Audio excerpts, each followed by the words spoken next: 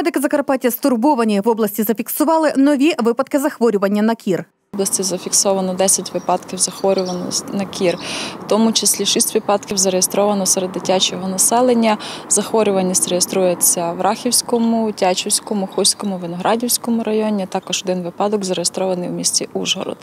Наразі ситуація спокійна, однак варто бути насторожі, адже в решті областей реєструють випадки недуги. Саме погане то, що появилися е, смертні випадки. В Одеській області двоє дітей померло. У групі ризику переважно діти, а саме ті, які не пройшли календарне щеплення чи ревакцинацію. На жаль, кажуть медики, таких сьогодні в регіоні більшість.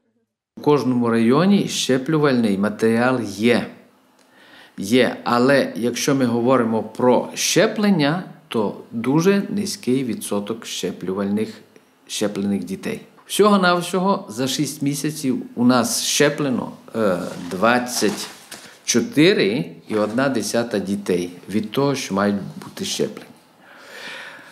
Це що ми говоримо за вакцинацію, якщо говоримо. Якщо ми говоримо за ревакцинацію, тут ще гірше.